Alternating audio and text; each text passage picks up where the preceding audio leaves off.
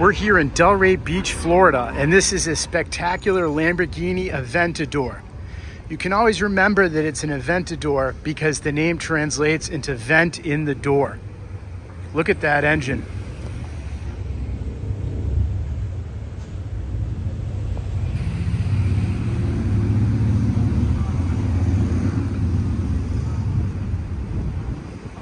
Those brakes are massive and the air intake can take an, an, incredible amount of CFM. The car needs it to pump out that horsepower in the V12.